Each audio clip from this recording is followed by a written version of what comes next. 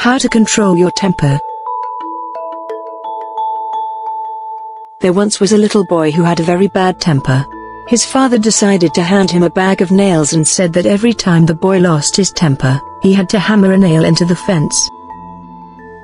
On the first day, the boy hammered 37 nails into that fence.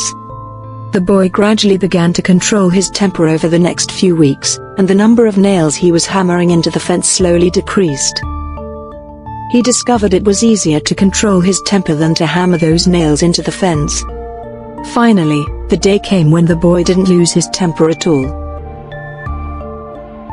He told his father the news and the father suggested that the boy should now pull out a nail every day he kept his temper under control.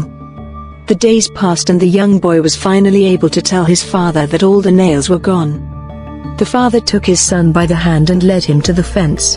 And then the father said, you have done well, my son, but look at the holes in the fence. The fence will never be the same. When you say things in anger, they leave a scar just like this one. You can put a knife in a man and draw it out.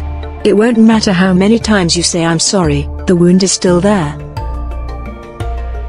Moral of the story. Control your anger, and don't say things to people in the heat of the moment, that you may later regret. Some things in life, you are unable to take back,